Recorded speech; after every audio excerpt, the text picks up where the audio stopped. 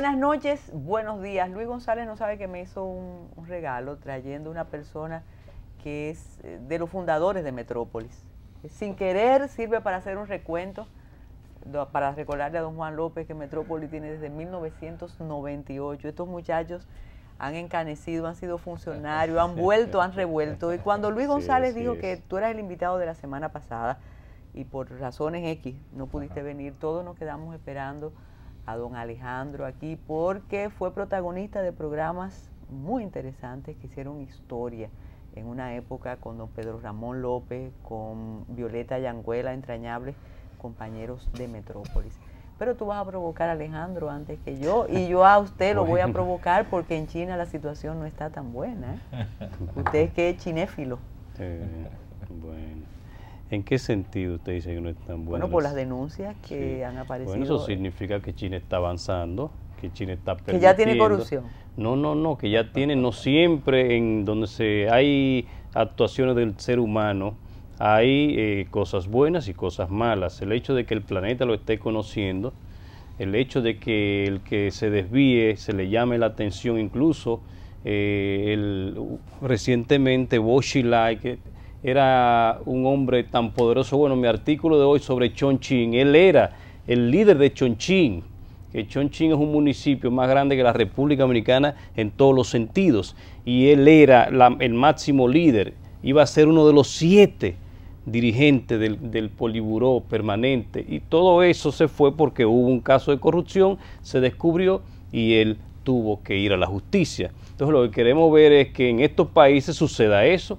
Lo que yo veo es que China está avanzando, doctora. Yo tengo otra lectura. En vez de ver que se está eh, derrumbando el imperio, lo que estoy viendo es que está avanzando porque está permitiendo que los que se desvían, la corrupción, entonces hay que denunciarla y hay que eh, actuar en consecuencia. Y a propósito de, la cultura eh, china, de Asia, de Oriente, el vivir mucho en esa cultura hace a las personas más sabias. Alejandro, tú tienes el privilegio de haber vivido procesos importantísimos, contemporáneos. Tampoco vamos a exagerar tu edad. Teniendo que ubicarte en, triche- en trincheras diferentes dependiendo de la coyuntura Así y mirando desde una perspectiva que a veces, aunque en política no podemos hablar de esos sentimientos, que a veces resultan dolorosas porque uno tiene amistades, tiene afectos, Claro. pero en el camino se van quedando. Y hay algo que aquí no es muy frecuente, de tener eh, la capacidad de evaluar procesos políticos sin tener que arriesgar afectos. A ti te ha tocado, reitero, una Sí. militancia desde la izquierda hasta del centro izquierda, hasta de participar en un proceso muy importante en la historia política nuestra. Y ahora estás en el PRD, pero resistiendo eh, o tratando de enfrentar una crisis. ¿Cuál es, tu, e- ¿Cuál es tu evaluación del proceso que vive tu partido en este momento? Bienvenido de nuevo al programa. No, y que primero, eh, yo sé que las y los dominicanos que nos siguen aquí en todo el mundo, y, y- y yo me incluyo en ellos, eh, que nos diga cuál es la trayectoria de Alejandro Abreu dentro del partido, cuando comienza, un partido que acaba de cumplir 75 años, cuando se inicia, y la posición que ocupas ahora es de vicepresidente del partido. Correcto. Le agradezco el contexto de las reflexiones y de las preguntas, eh, porque precisamente no he estado muy expuesto a los medios en los últimos tiempos, eh, precisamente porque no quiero ser tea de discordia. Me he tenido que jugar en un momento determinado actuaciones como muy bien dice Carmen, pero ahora mismo mi rol es contribuir a darle racionalidad a los procesos políticos en el PRD y actuar con el mayor comedimiento posible. Yo vengo de lo que, como bien dice Carmen, de la izquierda, a mucho orgullo, eh, sobre hay muchos tipos de izquierda, pero hay una izquierda que tiene un comportamiento ético y que, que yo creo que es el centro más importante de lo que es la izquierda. Eh, la izquierda tiene la vocación social, por lo social, por la justicia social. Y el otro componente que muchos dirigentes de izquierda no son consecuentes es la democracia en el sentido participativo, que ya es una izquierda más moderna, una izquierda más adaptada a la izquierda europea, a lo que vienen los países del norte. Eh, justicia social y democracia esos son los fundamentos reales de la izquierda. Y eso lo sigo sustentando, lógicamente, en mi corporación al PRD, que lo hago por dos razones. por la base popular del PRD, y la izquierda no tenía base popular, y por José Francisco Peña Gómez y su profundo compromiso político, que es el que me lleva incluso a mantenerme en el PRD y, no, y soportar las tentaciones del 95-96, al cual yo fui invitado obviamente y entendí que era la ruta más cercana a la apertura de la democracia y de una economía más social. Yo soy parte de lo que yo he llamado en el PRD el PRD social. Es un concepto. El PRD que se debe a la sociedad y no se debe a ningún otro grupo de interés. Ese PRD al que yo formo parte, pues siempre he estado ahí en, el, en ese partido, fundamentalmente en la dirección media y en las bases, con algunas dificultades a veces a nivel de la dirección, y representó, el primer eslabón lo representó Bosch y después lo representó José Francisco Peña Gómez. Ahí me identifico yo. Y ese PRD siempre está vigente, es el que le da la fuerza popular y la fuerza a las candidaturas de abajo hacia arriba. Y la sociedad dominicana ha entrado en un proceso muy difícil, sobre todo en lo que tiene que ver con el tema de la seguridad. Estoy muy preocupado con el tema de la seguridad. La seguridad en dos sentidos, seguridad ciudadana y seguridad para las inversiones, para las empresas. Se hace difícil a los dos niveles y lógicamente el manejo ético de los recursos, que es un tema muy eh, que se ha perdido mucho, y un grupo gobernante pues, que actúa con una vocación. Le voy a decir un detalle, creo que Metrópolis es un buen escenario para hacerlo. Eh, cada vez que un dirigente de un partido o de un gobierno ha dicho que vamos a gobernar 20, 30 años, no ha sucedido. es lo contrario. Esas cosas suceden, no se anuncian. Incluso, obviamente, eso indica que están, están abrumados de un éxito coyuntural que yo creo que a la larga pues se pondrá en su lugar. Y hasta nubilados, diría yo. Claro, es una, celebración a futuro que nunca es aconsejable en política. En política hay que celebrar lo que se va logrando, no lo que se proyecta hacia el futuro. Alejandro, eh, cualquiera podría pensar que estamos hablando de manera eh, bipolar, como en una ocasión escribió Eduardo Jorge Prats. Pues estamos hablando del partido como si no hubiera problema. Y cada vez que se habla del Partido Revolucionario Dominicano tenemos que hablar del presidente del partido, del vicepresidente, de quienes tienen los símbolos, el local y demás. Eh, demás símbolos, reitero, que identifican a un partido. Desde hace un tiempo hay un grupo disidente, incluso expulsado del, del PRD incide ese problema, en el, esa realidad en el crecimiento del PRD? Tú has dicho que estás trabajando con un perfil bajo, que no estás eh, asistiendo mucho a los medios. ¿Cómo la militancia tradicional del PRD entiende el trabajo de ustedes y si no les reclaman que vuelvan los de antes? Sobre todo afecta la imagen, obviamente. este debate interno afecta la imagen. Por ejemplo, ahí tenemos a Juno Santos. Juno Santos es el par del PRD social se formó conmigo de los 17 años. Y, es, parte, es parte de esa oportunidad que ofrece siempre el PRD. Eh, y hay que tener muy claro que nuestro compromiso es con la sociedad. Cuando los partidos se desconectan de la sociedad y dejan de tener el oído en la sociedad, pues se anquilosan, se trancan. Así es. Y tú has dicho una realidad, obviamente que el escenario no es el mejor para el PRD. Ese debate permanente, absolutamente absurdo, con conductas equivocadas muchas veces de uno y otro, con el que yo no he estado de acuerdo. Yo no creo que los problemas del PRD se van a solucionar con sanciones, expulsiones y esas cosas. Eh, incluso yo creo que hay que conducir las cosas en función de buscar un entendimiento y de poner en primer orden a lo que le debe servir el partido, que es a la sociedad. ¿Tú no crees en la solución jurídica? No, sino en, la, la conversación política. La solución jurídica es antipolítica. Eso no es política. Usted no puede darle las decisiones políticas a un juez. Eso, el juez soluciona. Eh, de hecho, la cultura de los jueces, si tú lo sabes muy bien, no es solucionar procesos, es sancionar. No es solucionar, es sancionar. Entonces, para la, política tiene que buscar soluciones, no sanciones.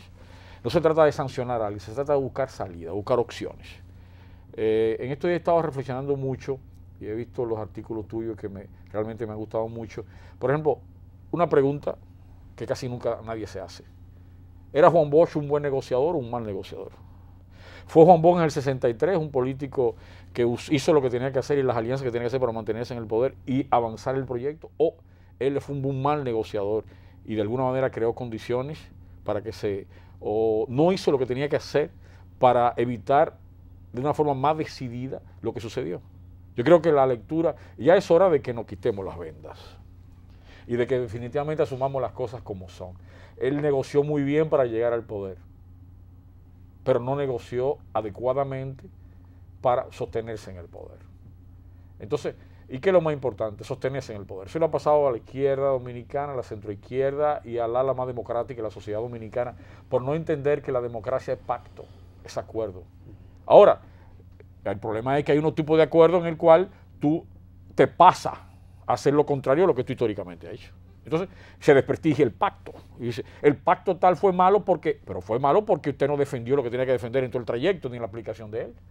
Si usted está inscrito en una corriente de defensa de intereses sociales y populares, usted tiene que defenderlo todo el camino, independientemente de a quién usted tenga al lado, independientemente de con quién pacte. Pero usted no puede posteriormente hacer lo, lo que han hecho principalmente bien los partidos dominicanos que han hecho principalmente bien los partidos dominicanos? Dos cosas.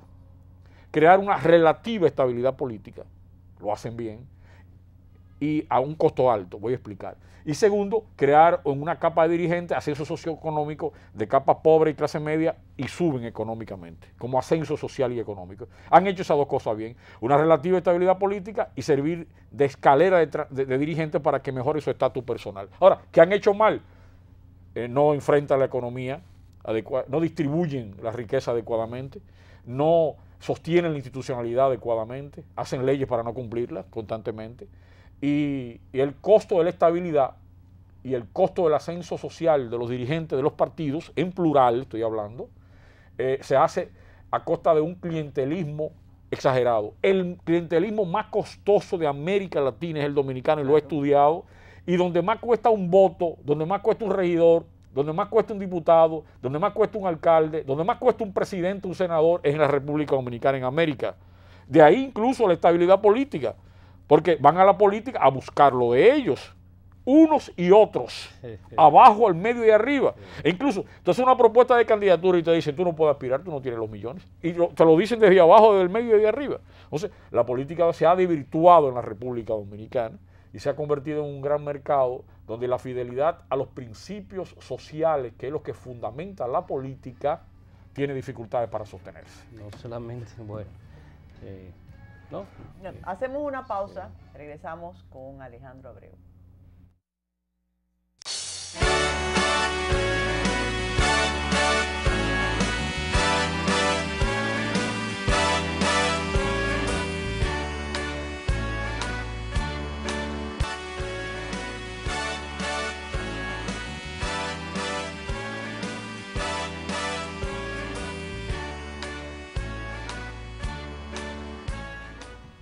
Se ríe Joseph porque él es de los PRDistas fieles, que no cambia, pero a veces se preocupa, ¿sí o no? ¿Te gustó ese? Se ah, preocupa y se ocupa. Exacto, y es un muchacho joven. Nos referimos a uno de los miembros del equipo, que es de esos PRDistas inclaudicables. Alejandro, eh, con e, ya tú haciendo análisis sociológico, que es tu fuerte, pero ¿qué pasó esta vez en el PRD que no ha podido componerse?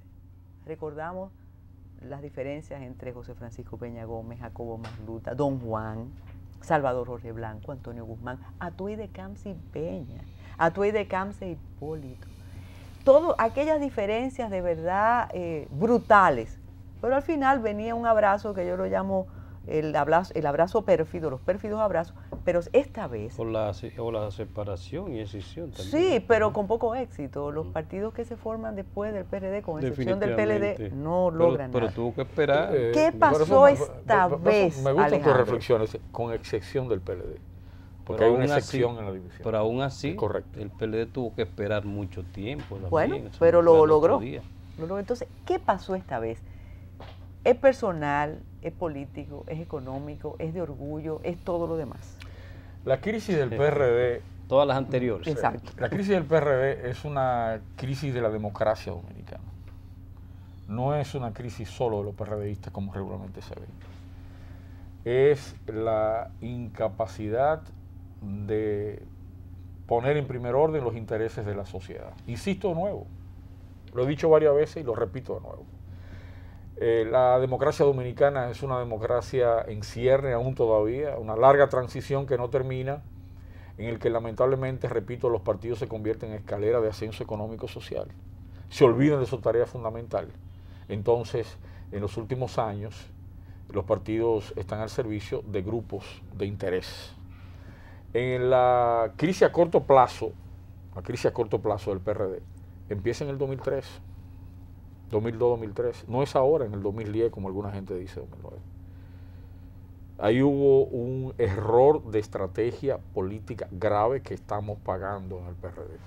En el 2003. Sí, porque no Yo debimos que ir... de antes, en el 2002, 25 de julio de 2002, Sí, con no- esa reforma a la Constitución. Sí, lo que pasa es que ya se armó la candidatura en el 2003, pero tiene que ver con la reforma que impuso de nuevo la reelección y ese grupo gobernante eh, que controlaba en ese momento a nombre del PRD intentó perpetuarse con el argumento nunca de ganar, Carmen. Sabían perfectamente que nunca ganaban. El objetivo era controlar el partido. Ese era el objetivo de la candidatura. Pero una jugada terca y no muy exitosa, entonces. Obviamente, no exitosa depende de para quién. Para, los, para las bases del PRD y para el PRD como tal, obviamente no exitosa. Pero fíjate que estamos en el 2014 y seguimos con el mismo grupo. Porque ese grupo ha estado vigente en todo este trayecto político. Ahora, si nos Pero eso es grave lo que tú estás diciendo. es que es así, es un dato de la realidad. Sí, exacto. Incluso uno de los problemas que hay es que la de- no hay diferencias ideológicas, programáticas y de intereses en los, luchos que, los grupos que están en debate Sí. ni de lo uno ni de lo otro. Yo no te voy a decir a ti, al grupo con el que yo he estado y a quien he estado defendiendo representa intereses ideológicos. No, no, te digo eso. sí. Estoy- estoy- estoy- Ahora, O sea, si te, el lo, botín es el Sí. partido. ahora si, te Pero lo dicen los, si te lo dicen los otros, también pasa lo mismo. Y hay algunos amigos nuestros, y algunos lamentablemente que hoy no sostenemos relaciones, pero no por culpa mía, eh, que quieren presentar esto como un grupo de tal naturaleza y otro grupo de tal naturaleza. No es verdad, son grupos que giran alrededor de intereses de control inmediato. Ahora, hay uno más racional y uno menos racional. Hay uno que opera con mayor racionalidad y eso le ha ayudado a tener vigencia con las leyes y la constitución de la República y a controlar la formalidad del partido. No simplemente el contacto con el grupo de gobierno, como dicen, es más racional. Por ejemplo, hablando de racionalidad, ¿qué lo- ¿cuál es el camino a buscar soluciones en el PRD? Participar en la convención, inscribirse. En O sea, esta convención que claro se está que sí, todo el PRDista que quiera aspirar, independientemente a qué sector o grupo, pero tiene, que- debe inscribirse Porque en la al convención final y ir, a- ir a aspirar. Entonces, ¿cuál es el miedo a la convención? Algunos dicen que el miedo a la convención viene de parte de Miguel Vargas Maldonado, porque de acuerdo con las encuestas, él no ganaría. pero él es que está por, Él es que le está eh, convocando. No, pero- la convención. ya la convención arrancó, en estos días alguien dijo a la fuerza, pero es que la, a, la, a la buena o la mala, es que ya la convención está marchando a la buena, que hay que hacer inscribirse. Sí, el jueves El que quiera aspirar a presidente del partido debe inscribirse, el que quiera aspirar a secretario general debe inscribirse, secretario de organización, que son los puestos principales. En esta convención no se va a decidir el candidato presidencial del PRD. Por tanto, los que aspiran a presidente vienen después, fueron las posiciones del partido. Lo que hay que hacer es inscribirse, ir a esa convención, mejorarla desde adentro, pero no mejorarla desde afuera, impugnándola y buscando soluciones extra la formalidad. Lo extraño de todo, Alejandro Abreu y doctora, y ustedes que nos siguen, es que el grupo que adversa y que se opone a la convención ahora es el que siempre estuvo llamando a convención. O sea, ¿y por qué ahora entonces que llegó la convención no participan? Está ahí, se está convocando. O sea, lo que se tiene que hacer es participar de ellas, eh, los documentos formales, las fechas, todo se dio a conocer en un documento el jueves pasado. Si, tienen mayoría, si tienen mayoría, eso se evidencia. Incluso la mejor manera de sustentar su posición es participando en el proceso. Están erráticos, están confusos, porque están dejando, se están dejando conducir por una visión que no actúa racionalmente. En política hay que tener racionalidad. Y a propósito, tú sabes la vigencia del Partido de los Impuestos Dominicanos, mal llamado PLD, que su verdadero nombre es ese, Partido de los Impuestos Dominicanos. La especialidad de ellos es quitarnos los fondos a nosotros para crear un gobierno rico y una sociedad en, eh, eh, igual en condiciones peores. O sea, ese grupo gobernante es un grupo racional. Calculador, frío. Incluso es el grupo más frío calculador de la historia de la República. Nunca en la historia de la República hubo un grupo como este. Pero que sabe Nunca utilizar bien también, Alejandro, las pasiones y las emociones, o sea, Es- racionales para la- ver. No, lo que maneja la comunicación. Exacto. Uno de sus puntos fuertes de la comunicación. Usted tiene el grupo alrededor de Santana, el grupo de Vaz, el grupo de Lili, el grupo de Horacio Vázquez, el grupo de Trujillo, el grupo de Balaguer. Nunca han tenido lo que esta, esta gente acaban de montar un congreso falso y la sociedad lo celebra. Y- exactamente. Y los medios lo celebran. Y La el Congreso- semana pasada, y el ¿qué Congreso- dijimos nosotros el- aquí El, Congreso de? Renovación no existe. Y el absoluta. Y yo, yo eh, eh, me pongo atento a los medios, radio, televisión y periódicos. Lo, lo busco todo. Y muy poca gente, muy poca gente ha explicado que no hubo Congreso renovador en el PRD. Que lo que hubo fue reelección de todos. Todo el comité político que está ahí se reelige. sí. Todo el comité secretario ahí que se reelige. Se y agregan queda- una cuota pequeña al comité central y una cuota pequeña al comité político. Y además, ¿cómo eligen los designados? Los que no van por elección en el comité político. Lo eligen al método feudal. Cada uno de los miembros elige dos. Eso no es democrático. Así no se elige en democracia. En democracia se elige todos votamos por todos. Aquí no. Aquí cada uno tiene derecho a dos. Esto es una logia. Y el discurso, Feudal. Y el discurso Sí, del sí, presidente sí, sí, sí, Fernández sí. es un discurso precisamente de una sagacidad impresionante donde él dice, no, nosotros somos una familia. Aquí no hay Mm. división. Sí. La división está afuera. Alejandro, volvemos a la, a la convención. Sí. A veces me parece que es que, que hasta nosotros nos enfermamos del mismo síndrome de los grupos enfrent- que tienen los grupos enfrentados. Es así. En el PRD, que es un, un partido donde del que todos podemos opinar porque sabemos quién es fulano, quién sí, es es un Perencejo. partido sociedad. Exacto. Pero hubo un enfrentamiento a tiros que para el derecho penal ameritaba sanciones y procesos. Sí. Y la sociedad dominicana, y no voy a hablar de los PRDistas, Sí. Sencillamente olvidó aquello, incluyendo el Ministerio Público. Ante el pueblo, porque es en vivo. Yo recuerdo, y aquí lo pasamos y lo escribí, que yo vi a un prestante ciudadano que fue dirigente del Colegio de Abogados de la República Dominicana disparando. Mm. Cualquier joven estudiante de Derecho sabe que eso es una infracción. Pero eso pasó. Hace Entonces, exactamente un año. exactamente. 27 de enero del 2012. Entonces, a ustedes le pasa Del lo- 2013, lo, peor y siguen hacia adelante. Pero entonces, al parecer, no hay momento para la reflexión. Ahora viene, antes de la convención, esta denuncia en torno al préstamo que le concede el Banreservas Banco de reservas. a, a Miguel Vargas Maldonado. Se dice un lunes, se estremece el país, los medios de comunicación, y siguen. Y después de eso dijeron que se iban a sentar en una mesa, alrededor de una mesa. Cuando usted habla de la convención, de nuevo pienso en este discurso esquizoide. ¿Quién le va a creer lo de la convención? ¿Qué van a hacer? ¿Qué va a hacer el otro grupo cuando el resultado de la convención los beneficie o no los beneficie? ¿Qué va a pasar, Alejandro? Cuando mi amigo, valorado por su pensamiento y su gran elaboración política conceptual, Eduardo Jorge Prat habla de conducta esquizoide, se refiere a un grupo del PRD, que no es el que controla la institucionalidad del PRD. Yo sé que tú le das una reinterpretación, es una característica tuya, reinterpretar, tomar el mismo concepto y reinterpretarlo de otra manera. No, Pero él todos, se refiere, todos, Eduardo se refiere esencialmente Sí, claro, y- al grupo en el que él no participa porque incluso, y tú lo puedes notar en cada conducta, usted tiene que decidirse, o va por la violencia o va por la democracia. Nada más hay dos caminos. Y la democracia supone un camino de la ley. Es otra condicionante de la ley. Yo dije ahorita, la democracia se pacta, se acuerda. Pero incluso, escúchame, que incluso quiero, eh, eh, menciono el acontecimiento de violencia, porque quiero ahí llamar, llamar la atención de algunos sectores eh, de la sociedad que pretenden ayudar a la, en la crisis del PRD y olvidaron ese acontecimiento. Incluso, incluso es peor todavía. Algunos lo justifican a nombre del pueblo. Una de las cosas que yo descubrí y por lo que le hice la crítica y le hago la crítica a la izquierda, yo le hago hoy día fuerte crítica a la izquierda, como tú también, porque yo te leo. Resulta que la crítica a la izquierda es que la izquierda y la mayoría de los dirigentes de izquierda connotados no han sido demócratas, no son demócratas, porque no entienden la diversidad de la sociedad, ni la admiten ni la reconocen.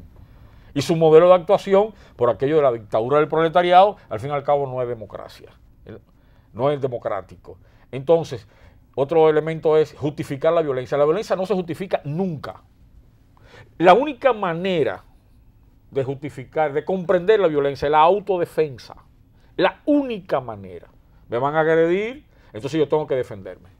Eso, es, eso, está, eso está en la Biblia y en todos los principios de supervivencia humana. Pero una cosa es la autodefensa y otra cosa es la violencia como método para obtener el poder o para imponer un interés, ya sea ideológico, económico. La violencia nunca se justifica porque la violencia es el camino antidemocrático.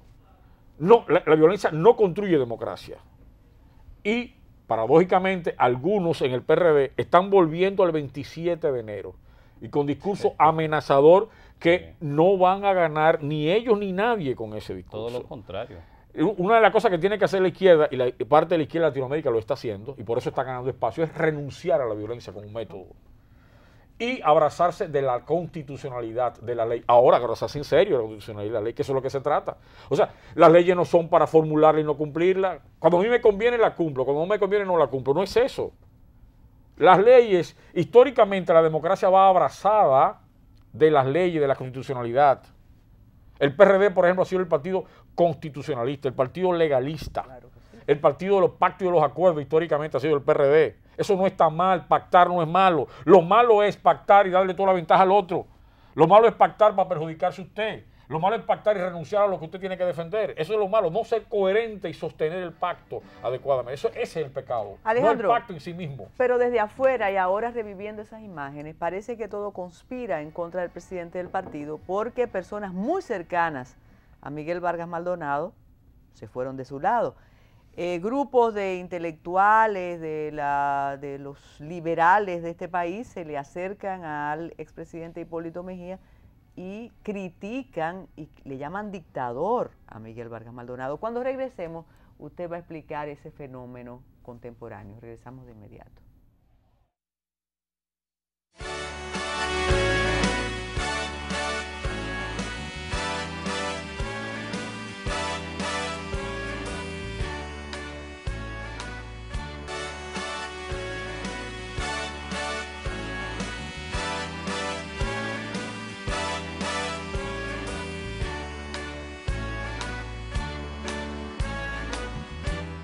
Ella me mira y me dice, ¿cómo que usted no sabe de letra? Digo, no, yo sé hacer mi trabajo, pero yo no sé de letra. Me dice, vamos a ver qué nosotros podemos hacer con usted.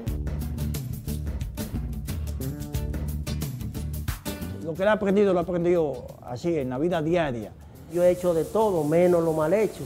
Y después ya de uno de grande le da un poco de, de temor y vergüenza, pero yo gracias a Dios voté eso ya. Caonabo, póngase, inscríbase, es un programa muy bueno. Me llevé del consejo, yo lo que quiero es aprender, como los compañeros que están aquí. Cuando terminen el proyecto, ellos podían hacer una carrera técnica. Yo llenando, eh, cerrando unas conexiones y cosas, se complicaba el trabajo, pero ahora que yo estoy aprendiendo, de momento ya yo soy ingeniero. Cuando tú le das un plano, cuando tú le das una orden, con los problemas que hay rutinarios de trabajo, ellos saben lo que van a hacer. O un cambio del cielo a la tierra. Pero ya nosotros vamos a salir, mire, chateando por donde quiera. Porque olvídese, ya nosotros tenemos que ponernos a lo moderno. Dice un alagio que la vergüenza es verde y se la comen los burros y nosotros no estamos en ese sistema. Ya nosotros estamos para aprender. No hay un pueblo con la gente que no sepa leer ni escribir que puede echar adelante. A donde se empuja a, a, que aprendan es un progreso que va a la casa, va a los hijos, a todo. Así que yo les solto que aprendan. Que no se quede nadie.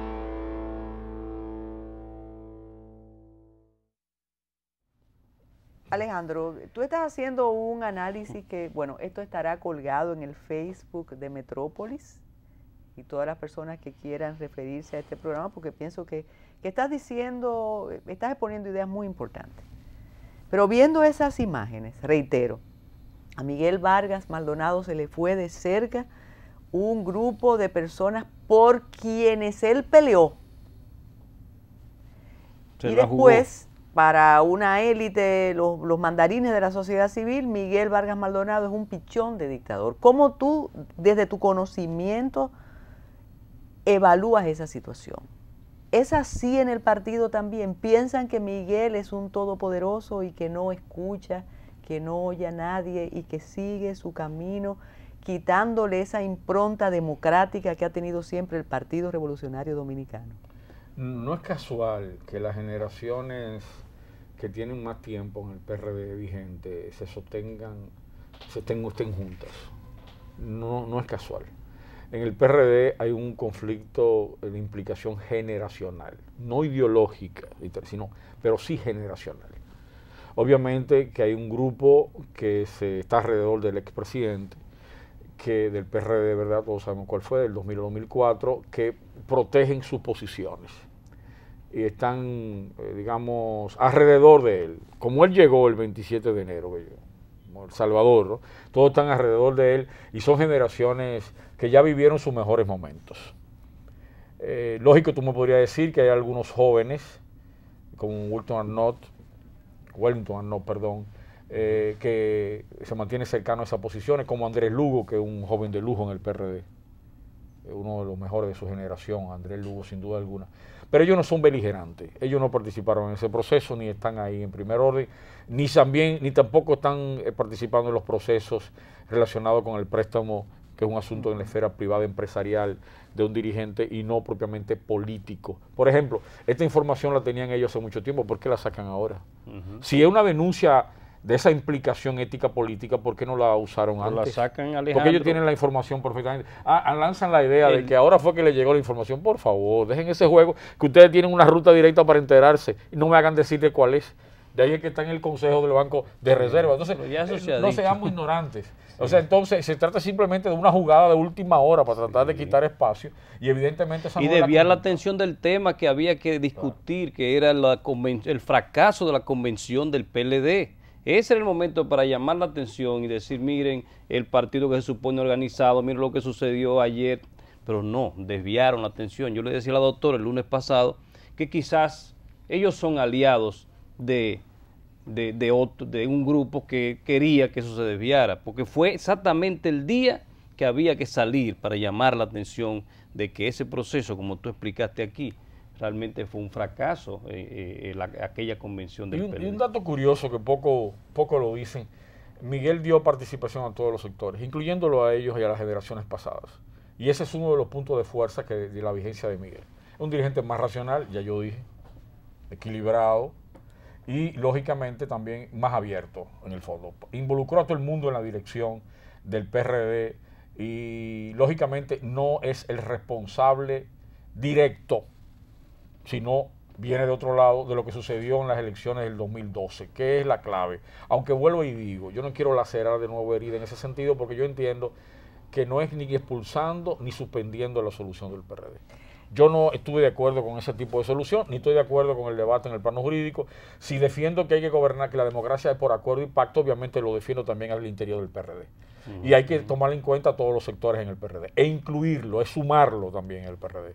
Y si el PRD no es capaz de encontrar esa solución interna, va a tener muy grandes dificultades para hacerse confiable hacia la sociedad. Volvamos a la convención. ¿Qué va a pasar con la convención, Alejandro Abreu? Y ahora que tú dices sumar, voy a, eliminar una pregunta que tenía aquí, que si era posible, si es posible un PRD sin Hipólito Mejía. Pero tú dices que hay que sumar, no importa quién sea. El expresidente tiene una fuerza social y política que le sigue. Él es un dirigente importante. Es una realidad, independientemente de lo que ha pasado con los acontecimientos y la Comisión de Disciplina y eso, él tiene una influencia en la sociedad. Y lógicamente eso hay que tomarlo en cuenta, eso hay que valorarlo. Si yo hablo de que hay que actuar con racionalidad, pues lógicamente eso hay que integrarlo, hay que tomarlo en cuenta. Hay que buscar puntos comunes, ver si es posible hacer ese acuerdo. la convención en el PR. Vamos, Lo que yo quería decir, pero para hacer un ente de equilibrio, porque ahí yo inserto el tema con el que comenzamos el programa, el tema China. Hace dos semanas escribí una comparación, los partidos dominicanos y el Partido Comunista de China un país que se supone que no es democrático, todo lo que se señala, y en lo contrario, el Partido Comunista de China, cada 10 años se cambia la, generación, o sea, ya Jiang Zemin, Yu Jintao, con todo su grupo, están ahí, están vivos, pero están ahí. están ahí en el país, pero ahora está la generación, la quinta, con Xi Jinping y todo el equipo, o sea, es lo que tú dijiste. Aquí no se ve, aquí vemos las mismas caras. Hace 25 años los fundadores del PLD están ahí, los 25. Los tiene que morir uno para que salga del comité político. Lo que hacen es ampliarlo en vez de renovar, que fue una observación que, tú hiciste. fuera del aire del Dussel que le ofrecieron al niño? ¿A cuál niño? Vamos a dejarlo fuera del aire. Pero háblame de convención. que yo no entiendo cómo va a ser, cómo se va a celebrar la convención. La convención se tiene que celebrar de acuerdo a los estatutos. Pero habrá participación masiva. Los estatutos del PRD dicen cómo se hace la convención. Y la convención establece participación masiva y votación general de los inscritos en el padrón del PRD para tres cargos el secretario general, el secretario de organización y el presidente del partido. Y votaciones sectoriales y locales para los dirigentes de los municipios y las otras posiciones. Los estatutos dicen, es los estatutos que hay que seguir. Los frentes de El PRB no es el PLD. El PRD no es el PLD. El PLD tiene... Aquí, ¿Dónde dicen los estatutos del PLD que el Comité Central se elige religiéndolo todo y agregando? En ningún sitio. Y nadie se lo reclama. En ningún sitio en el PRD hay una renovación de dirigentes inevitables, porque lo dice el estatuto del partido. Y son los estatutos que hay que seguir en el cumplimiento de la convención. Claro que tiene que haber votación abierta para los cargos que, que, que, establecen los estatutos eso. Dicen que alguien comentó a, a una persona muy influyente de los grupos eh, organizados de la sociedad civil que en la convención iba a haber sangre. Bueno, ¿Por qué? Lamentablemente ya lo hubo. Estamos precisamente a un año y veo que este programa es simbólico y fue muy bueno que viniera y le agradezco la invitación de ustedes porque estamos exactamente a un año. Ya hubo sangre. Y el peligro de que vuelva a repetir existe, lamentablemente. Pero entonces no, hay, un árbitro en el PRD. hasta entre los dos grupos. Hasta ahora no lo ha habido. Los esfuerzos que se han hecho han sido infructuosos. Lógicamente que hay un sector que genera violencia y otro sector que no genera violencia. Eso tenemos que estar claro a un sector que tiene una vocación de respeto a la constitucionalidad de las leyes y otro sector que a nombre de posiciones ideológicas no reales y representaciones del pueblo no reales argumenta derecho a violencia. Pero que al final son PRDistas, ¿verdad? También. Que no es el camino adecuado. Hay que ir a los... Lo que hay que reclamarle a la, a la comisión organizadora que existe, que cumpla los estatutos que se maneje de acuerdo a los principios que establecen los reglamentos. ¿Cuáles son las condiciones del grupo disidente para eh, participar en la convención? ¿Qué exigen? Bueno, esa pregunta sería bueno que la contestaran ellos, pero yo entiendo que ellos quieren participar en la comisión organizadora de la convención. ¿Y no pueden? Claro que pueden, pero tienen que estar en los organismos competentes.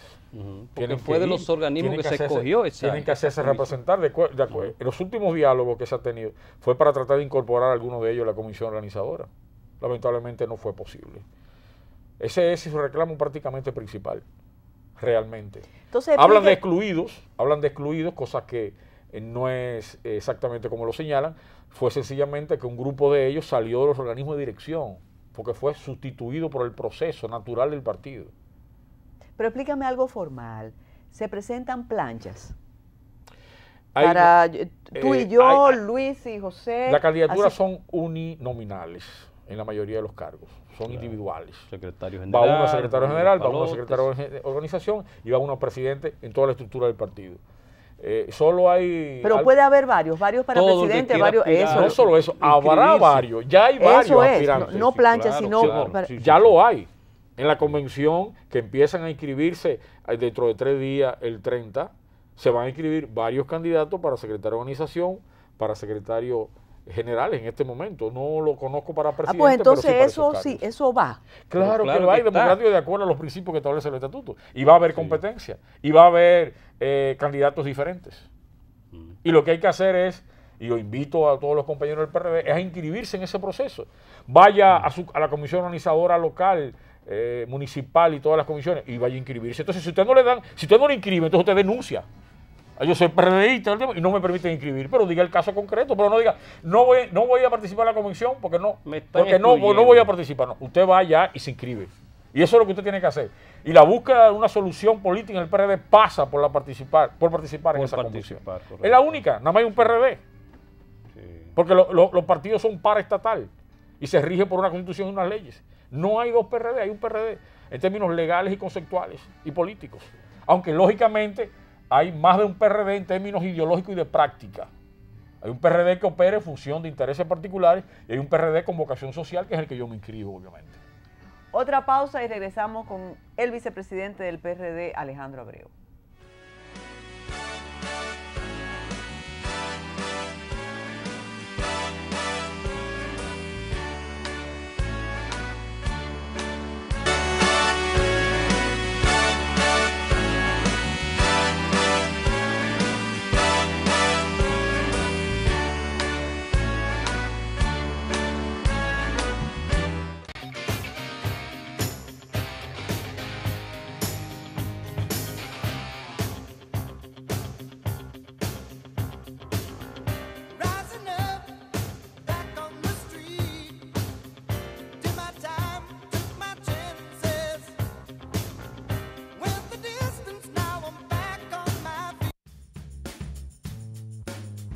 El sector textil que estaba totalmente quebrado. Todos los inicios de año uno tiene que iniciar la reducción de personal y empezaban a producir a partir de marzo. Y en mi caso que trabajo para Ajuste es algo que para mis ingresos es algo patético. Hemos venido pidiendo por años la confección de uniformes en nuestro país. Las importaciones nos afectaban drásticamente porque el gobierno lo que hacía era que buscaba inversionistas que importaban desde China la camisa, los pantalones, los zapatos, la mochila. Después de largos años de espera, el gobierno dominicano reactiva la industria textil local.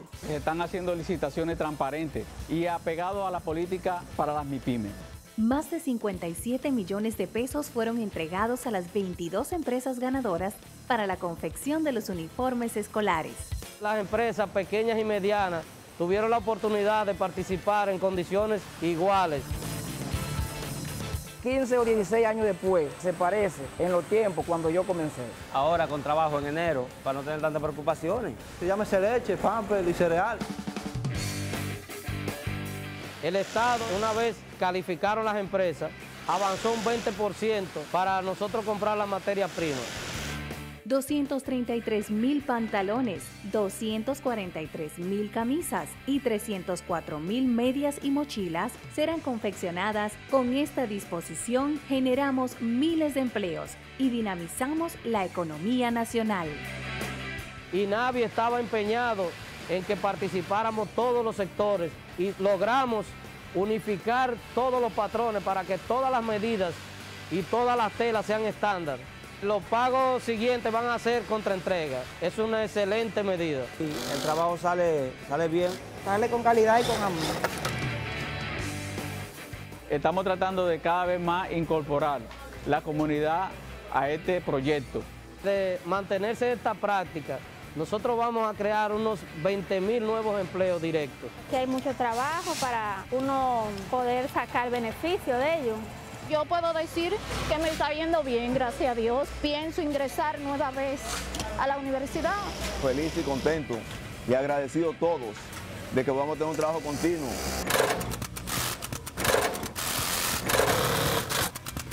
Que hay muchas empresas que ahora con este trabajo es que están abriendo sus puertas y están relanzándose de nuevo. Nos sentimos más respaldados, nos sentimos más seguros tenemos suficiente trabajo, nos sentimos conformes con el gobierno y nos sentimos comprometidos con hacer un trabajo de calidad a la altura que nosotros sabemos hacerlo.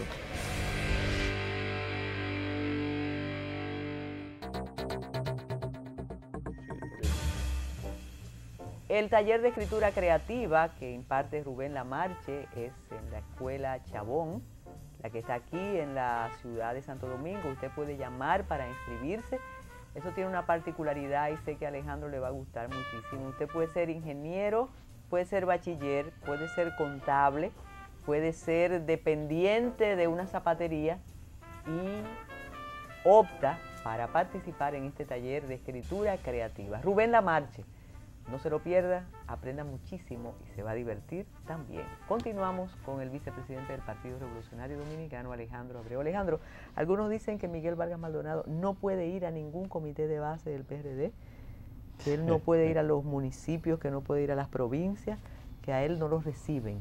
Eso es cierto. Está yendo a todos lados. Acaba de ir a Puerto Rico y está visitando los diferentes pueblos. Eso lo sabe todo el país y lo sabe todas las medias y todos los precios. Además, reitero, esto es un tema de catadura democrática.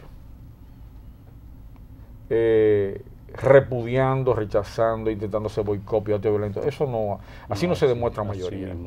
Así no se demuestra mayoría. Las mayorías se demuestran de otra manera.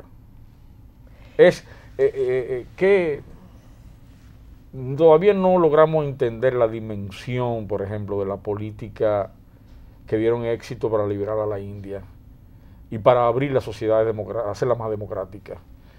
Eh, el profesor Juan Bosch hacía las formulaciones certeras, decía, llevemos al gobierno a su propia legalidad. Es el terreno de la legalidad que hay que, pero en el cumplimiento, en el efecto. Inscríbanse en la convención, participen en ella. Reclamen su vigencia desde adentro. Olvídense de personificar el conflicto, de convertir a Miguel en el problema del partido, o de convertir simplemente a Hipólito en el problema del partido. Por eso había una solución en un caso ni en otro. Hay que corregir conductas hay que retomar la agenda. La gente quiere oír, está cansada del PRD y tiene toda la razón, está cansada de los debates internos del PRD. La gente quiere oír al PRD hablando de la situación económica del país, de un Banco Central que dice que creció la economía en un 4 puntos por ciento y no coincide con lo que vive la gente, y, con los negocios cerrados y la situación que viven los barrios. Con, un una presidente que dice que la seguridad está mejor y la realidad es otra. Esos son los temas que hay que hablar, esos son los temas importantes. Un presidente que lo que aplica es un gobierno de los domingos. Un presidente que se dedica a repartir una tarea que no le corresponde a él. La función de un presidente es dirigir su gabinete, dirigir su ministro. Es lo que tiene que tener todos los ministerios trabajando, llegando abajo. Ok, si él quiere pasear, visitar, pero no es él el que tiene que estar entregando recursos. Ese no es un método correcto para un presidente. Pero mientras el PRD no se, no se una y no resuelva sus problemas, esa oposición que tú estás haciendo desde aquí ahora no se sostiene porque dicen, ¿quién está hablando? Alejandro, pero su partido tiene un problema. Entonces, para hacer la oposición que nunca le hicieron a Fernández, por ejemplo, el PRD ni ningún otro partido con contundencia, ustedes tienen que demostrar que están unidos, que no tienen problemas. Te reconocí anteriormente que esta situación afecta la imagen del PRD y afecta la credibilidad de la oferta del partido. Eso es verdad. Pero alguien tiene que actuar con equilibrio y cumpliendo su papel. Y especialmente a mí me corresponde eso, llamar a la sensatez a todos los sectores del PRD y llamar a cumplir nuestro deber. El PRD existe para cumplir sus objetivos fundamentales que no lo ha llevado a cabo todavía. Fue bueno impulsando la libertad y la democracia y defendiendo incluso con acciones directas y acciones de masa la democracia y la libertad. Lo, hizo un gran papel ahí pero todavía está pendiente severamente crear una sociedad más justa. Tenemos una sociedad tremendamente injusta. Y además hay problemas nuevos que han surgido, como dice Luis, muy importante, un tema que me está inquietando tremendamente, que es el de la seguridad. Hay una sociedad más insegura.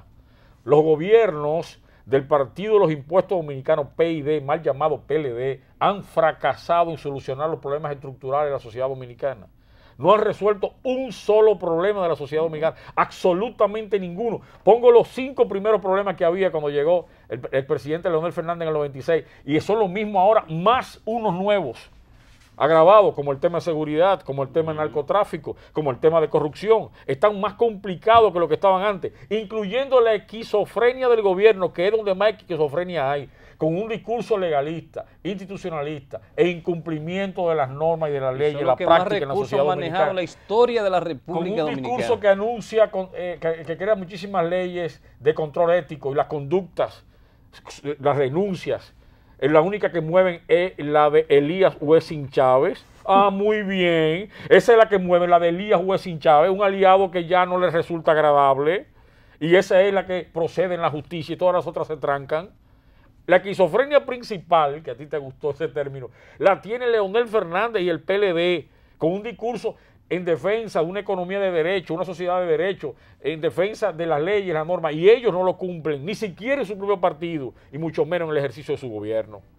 Entonces, el, el largo romance de luna de miel que vive el presidente Danilo Medina no es más que la celebración que tiene el pueblo de descansar del gobierno de Leonel Fernández. Exactamente, un pero, de no- forma, pero el no gobierno de. Danilo Medina tampoco enfrenta los problemas estructurales de la sociedad dominicana y va a terminar y no va a solucionar a ritmo que va un- uno solo de los problemas de la sociedad dominicana. Estamos perdiendo el tiempo en la sociedad dominicana y el PRD tiene que dejar de perder el tiempo y tenemos que ser más responsables unos y otros y asumir la tarea para el cual se fundó el PRD y dejar de jugar a la política al servicio de intereses personales y particulares que al fin y al cabo es inútil y no ayuda al pueblo dominicano. Bueno, Bueno, Alejandro, esperamos otra participación suya por aquí, sobre todo ya cuando el proceso de convención esté más adelantado. Se nos quedaron muchísimas preguntas. ¿Quién vota? ¿Cómo vota? Si los expulsados pueden votar. Si Luis puede votar, si yo puedo votar. Pero eso en otro programa. Muchísimas gracias y a ustedes buenas noches y buenos días.